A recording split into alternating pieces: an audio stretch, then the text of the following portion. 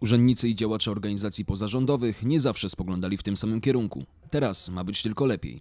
Lody szybko topnieją, a obie strony wypowiadają się o sobie coraz cieplej. Współpraca z organizacjami pozarządowymi jest niezmiernie ważna, ponieważ to właśnie organizacje pozarządowe reprezentują interesy mieszkańców, ale też z drugiej strony są najbliżej społeczności lokalnych, mają dobrze rozeznane potrzeby i mogą uzupełniać działania miasta na rzecz mieszkańców. I dlatego podczas ostatniego spotkania udało się osiągnąć kompromis w sprawie obchodów święta organizacji pozarządowych.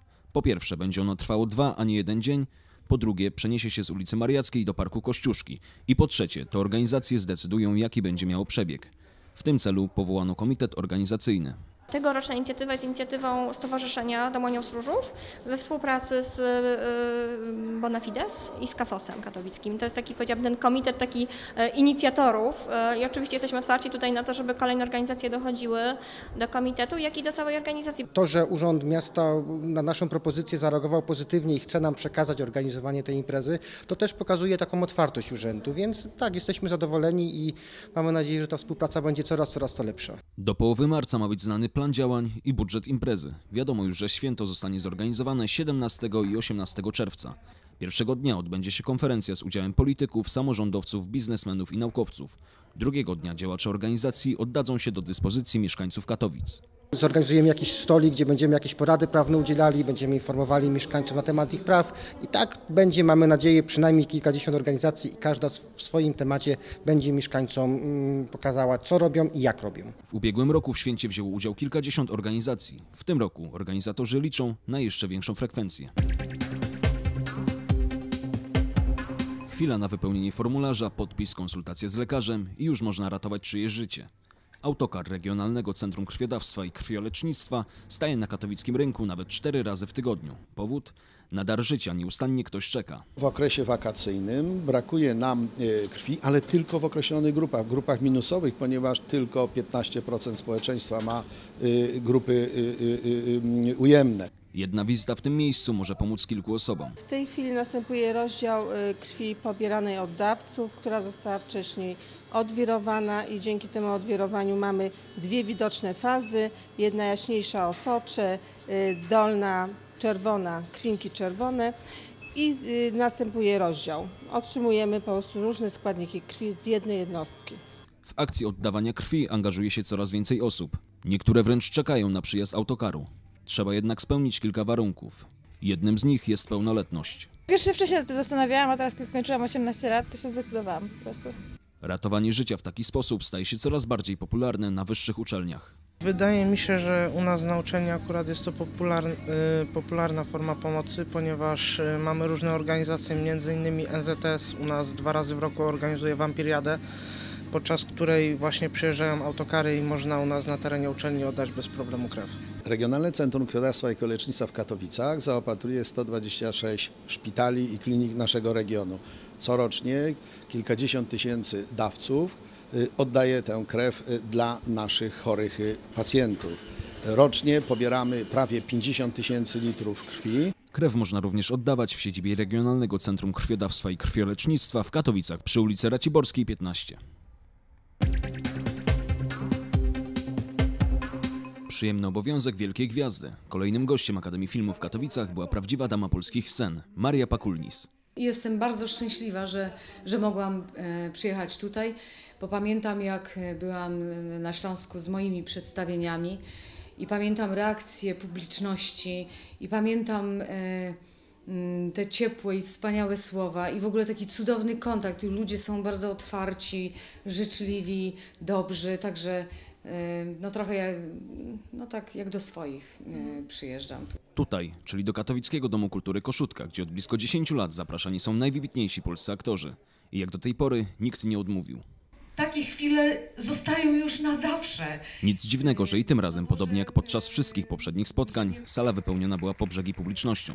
Twórcą renomy Katowickiej Akademii Filmu jest Rena Rolewicz-Jurasz. Pomyślałam, że jeżeli Akademia Filmu, to najważniejsze nazwisko Kazimierz Kuc i poprosiłam o taki honorowy patronat. I choć Maria Pakulnis nie zagrała w żadnym ze śląskich filmów Kazimierza Kuca, w Katowicach czuje się jak u siebie. Mam taki ogromny jakiś taki sentyment. Nie przyjeżdżam tutaj do y, obcych ludzi. Stąd y, praktycznie można by powiedzieć y, pochodzi y, rodzina mm, mojego męża. Dziadek jego grał, brał udział w, w powstaniu śląskim, także mm, no, tutaj jest tam ze strony mojego męża taki odłam tych takich silnych, wspaniałych kobiet, y, które też dla mnie gdzieś takim wzorem były, y, bo się z nimi przecież stykałam. Maria Pakulnis dopisała się do długiej, liczącej kilkadziesiąt nazwisk listy gwiazd, które skorzystały z zaproszenia Akademii Filmu. Po spotkaniu obowiązkowy wpis do księgi i wspomnienia, jak te o wizycie świętej pamięci Gustawa Holubka. Na rok przed śmiercią przyjechał do nas już bardzo schorowany, bardzo starszy, starszy pan, ale bardzo młody artysta. Wspaniały, genialny zupełnie. Także myślę, że on zostawił jakieś takie nie, no, niezatarte piętno w nas wszystkich. Kolejne spotkanie z cyklu Akademii Filmu odbędzie się pod koniec marca. Choć nie odcisnęli dłoni w Alei Gwiazd, na dobre odcisnęli swoje piętno na kulturze Katowic, Śląska czy Polski – Teraz ich wizerunki w formie rzeźb autorstwa wybitnych artystów zdobią galerię artystyczną na Placu Grunwaldzkim. Czas na kolejną postać. W marcu jak co roku został ogłoszony konkurs mający na celu wybranie osoby wyjątkowo zasłużonej dla kultury naszego regionu. Miesiąc marzec od kilku lat tradycyjnie jest e, miesiącem głosowania na postać e, w galerii artystycznej. W, na naszej stronie internetowej Katowice EU są przybliżone 12 postaci, które w tym roku zostały zgłoszone przez Instytut Katowickie Instytucje Kultury. A w gronie kandydatów same wybitne postaci, m.in. Henryk Mikołaj Górecki, Janusz Kidawa czy Hans Belmer. Kupony z kandydaturami można składać do końca miesiąca. Historia tego wyjątkowego w skali całego regionu miejsca sięga 2003 roku. Miasto ogłosiło przetarg na zagospodarowanie tego placu i my wystąpiliśmy wraz z małżonką moją z propozycją przebudowy tego placu właśnie w ten sposób. I jednym z pomysłów, który zaproponowaliśmy, było utworzenie na tym placu galerii artystów. E, idea tego jest taka, że e, chcielibyśmy w mieście stworzyć takie miejsce, gdzie mm, przypomniano by różnych wybitnych artystów z różnych dziedzin sztuki, z kultury, e, ludzi, którzy byli związani z miastem. Co roku galeria staje się bogatsza o wizerunek jednego artysty. Taka jest reguła, choć dwukrotnie zdarzyły się od niej odstępstwa. Na początku w 2004 roku, kiedy powstała galeria, yy, jednocześnie właśnie Cybulski i Kalor Stryja yy, zostali tutaj umieszczeni.